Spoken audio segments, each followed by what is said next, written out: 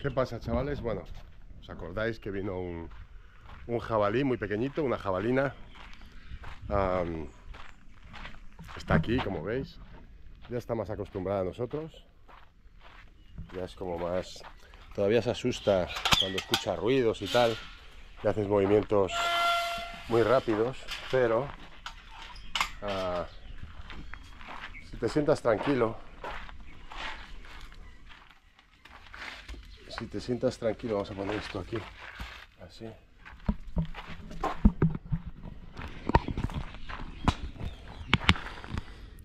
Ahí tranquilito. Ella viene, vais a ver. Mira tu pirula. A ver, ¿dónde está mi pirulilla? ¿Dónde está mi pirulilla? Ven.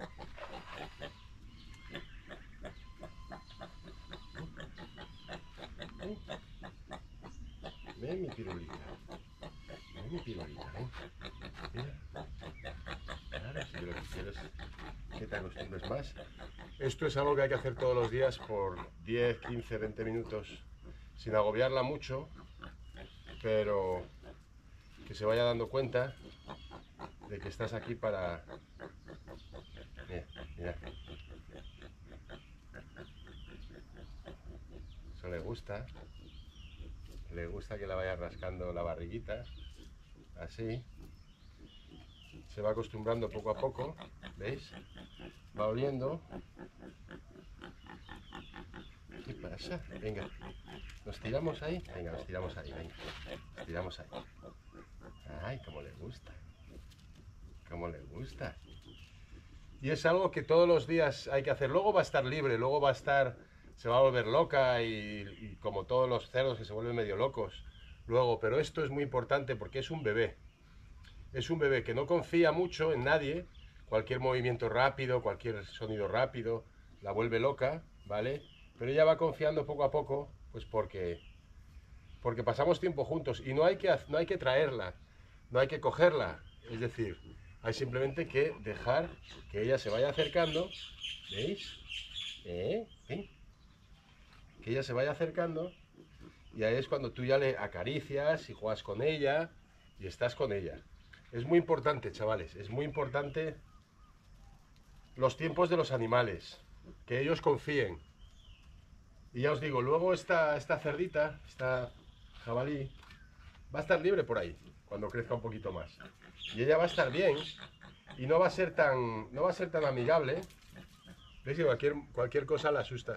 No va a ser tan amigable como, como puede llegar a ser ahora cuando es pequeñita, ¿vale?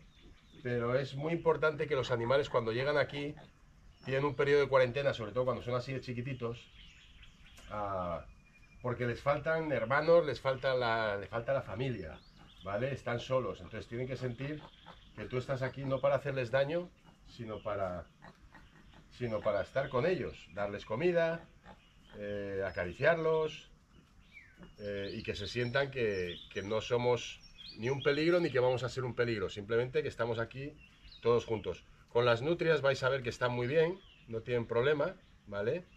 Plexi, ¿dónde está mi Plexi? Y todavía ella, ya os digo, ella todavía es recelosa, no es muy... pero le gusta mucho que le rasques la barriguita, como veis. Esto le gusta mucho. De hecho, hay veces que hasta se tira al suelo. Hay veces que se tira al suelo, mirad. La empiezas a rascar y se pone toda contenta. Aquí vienen las, las nutrias y vais a ver que con las nutrias no tiene problema. Vamos, Plexi. Venga, chicas. Vamos, chicas. Vamos, ven. Es importante, pues eso, que compartan espacio. No hay peleas, no hay peleas. Es decir, eh, ellas se huelen, ellas están, están alrededor. Y, y la cerdita simplemente cuando están aquí ellas, veis que se ha apartado. ¿Vale? Se ha apartado. ¿Lo veis? Pero no hay una agresión, no hay una agresión eh, ni física ni de temperamento, ¿vale? Todos tienen aquí su, su caricita, ¿eh? Tiene su caricita ahí, ¿eh? ¿Qué pasa, Piolín? Que tú también tienes, hombre, tú también tienes. No te preocupes. Y como veis no hay agresión, es importante eso también la introducción de los animales y ver, ver que están bien entre ellos, ¿vale? Que pueden incluso llegar a jugar a esta edad, pueden llegar a, incluso jugar, que te voy a dar en el culo, Chris. Te voy a dar en el culo, Chris. La crisis es que está muy pesada, está muy pesada. Pero bueno, lo que os digo, es importante... La crisis está muy pesada, muy pesada. ¿Eh, Pirula? Bueno. ¿Y tú, Plexi, cómo estás? ¿Tú cómo estás? Estos dos son dos pánfilos. Igual la Cris que el Plexi. Miradlo. Ay, que te cojo las bolitas, te cojo las bolitas, te cojo las bolitas. Te cojo el pito, el pito, el pito. Así que ya veis, no hay agresión, está bien, están contentos. Y estas pues son lo que son. Así que nada, chavales. Os quería enseñar eso y ya está. ¿Vale? Y como veis, el cerdito, la cerdita, una de las cosas que le gusta, bueno, ahora se ha salido, pero es pegarse, es pegarse sus bañitos. ¿Vale? Qué bonita que eres, pirulingui. Qué bonita que eres, pirulingui. Qué pirulingui, pirulingui, pirulingui. Pues nada, chaval. Digo, chavales, una cosita más. Seguimos con el vídeo de hoy. Bueno, chavales, una de las cosas que estamos haciendo ya hace días es que hemos estado colocando aquí diferentes terrarios, vamos a decir, ¿vale? Hemos hecho aquí un invento, eh, porque esta es la zona de campamento, ya sabéis, esta es la zona donde donde cuando viene la gente pues se quedan aquí a se quedan aquí a dormir vale tenemos eh, tres habitaciones aquí donde la gente viene pues eso y, se quedan aquí estas son las habitaciones ya lo sabéis y una de las cosas que que vamos a hacer es limpiar todos estos terrarios y dejarlos preparados ¿por qué? pues porque fijaros lo que pasa con la cámara cuando yo la suelto en el aire mirad ¿Por qué? Porque es que de repente. ¿Habéis visto? Es la hostia de la cámara. Es como un dron, mira, lo, dirijo con la mano, con el dedo, mira. Mira, hago así para arriba, mira, mira. Y para abajo. Y para un lado. Y para el otro. Y si hago. No, es la tonta esta que es Ahora te han visto, Te acaban de ver. Te acaban de ver, me acaban de joder. Oh. se lo habían creído. Bueno, pues resulta que lo que hemos hecho es que hemos colocado todos estos acuarios, obviamente los veis que están aquí todavía sucios y tal. Y lo que vamos a hacer es utilizar varios elementos para que veáis que es muy fácil hacer un terrario. Aquí tenemos eh, un montón de, sustrato de coco, ¿vale? Tenemos una especie de pues, piedras y trozos de madera. Luego, si queréis, vamos a buscar más maderas y tal. Para hacerlo, tenemos unos cuencos que, que los venden muy baratos, ¿vale? Aquí los hace un amigo este mío y nos lo vende a... Bueno, realmente nos ha dado, son de segunda mano de esos. Y luego vamos a ir a por tierra, ¿vale? Vamos a ir a por tierra, que ya os explicaré por qué. Y nada, eh, es para que lo veáis y luego cuando ya esté todo limpito y todo organizado, pues os enseñaré un poquito, ¿vale? Vamos a hacer un acuario por lo menos y así lo veis. ¿Parece? Pues venga. Vale, venimos al reptiliario y hay que buscar donde, ¿veis? Donde los perritos han hecho agujeros, están por aquí haciendo agujeros los tíos. Y esta es la tierra que vamos a coger. Toda esta tierra es la que vamos a coger. Bueno, pues fijaros qué sencillo es esto. ¿Vale? Lo primero que hacemos es poner un poquito de... Se me ve, ¿no? Supongo que sí, ¿no? Se ve todo ahí. Ponemos un poquito de este sustrato, ¿vale? Esto es como si dijésemos eh, coco pulverizado, ¿vale? lo dejamos ahí.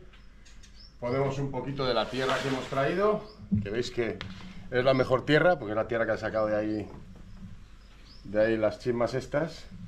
Y esto lo vamos a mezclar. Esto lo vamos a mezclar, ¿vale? Luego se puede poner otra capa de coco, un coco que es menos refinado, ¿vale? Que es como si dijéramos los pelajos del coco. Se puede poner un poquito, ¿vale? Pero vamos, que podéis poner sustrato el que os dé la gana. ¿Vale? Esto es porque le da un poquito de muy muy a la cosa. Y luego nada, luego es colocar, fijaros, podemos colocar, eh, ¿qué os digo? Un tarrito de estos para el agua, ¿vale? Se puede colocar una esquinita. Se pueden poner esto, en este caso se podría poner, vamos a decir, un chisme de estos, que para, eso sería para uno más grande. Pero en este caso vamos a colocar un maderito, ¿vale? Para que los animales puedan subir, bajar, lo que sea. E incluso podemos colocar una cuevita, ¿vale? Una cuevita donde se pueden esconder. ¿Es un espacio pequeño? No, no es tan pequeño. Sobre todo si esto lo levantamos un poco más, automáticamente le hace un espacio mucho más mucho más abierto al animal. ¿Por qué? Puede subir, puede bajar, le podemos poner eh, más ramitas, le podemos poner otro tronco, lo que sea, pero básicamente aquí va a tener una, una situación muy buena.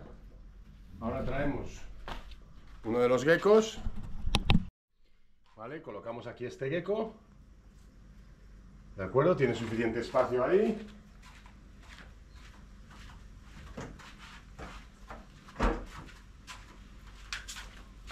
ponemos un poquito de agua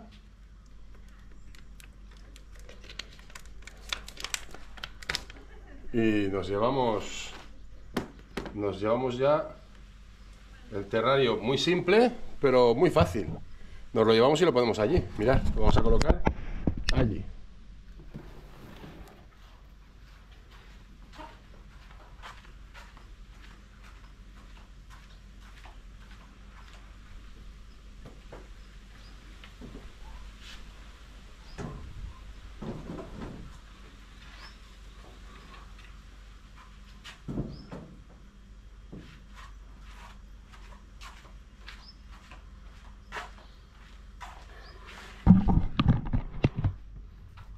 ¿Y ves qué chulo?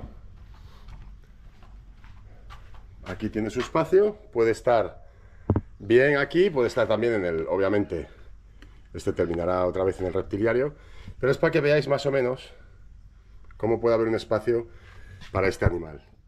¿De acuerdo? Puede ser más grande, más pequeño, ya veis que tenemos eh, terrarios más grandes, dependiendo de las necesidades.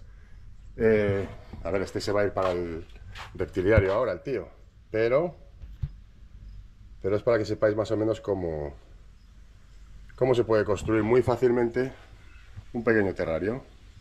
Entonces valdría para uno más pequeñito y está pues muy chulo.